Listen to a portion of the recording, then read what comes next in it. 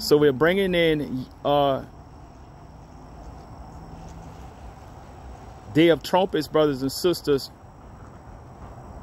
uh, Feast of Trumpets, over this sign of two individuals having these things to kill, to slug people, to slug people, to bring in the seventh Hebrew calendar month, Tishri, uh, 1 5783, a new year, brothers and sisters, right here in Gonzales, Louisiana. Look at the Most High showing what he's going to do. He's getting ready to destroy and take out. Let me go ahead on and blow it in while I have time because I want to get this. I want to get this on uh, the reel.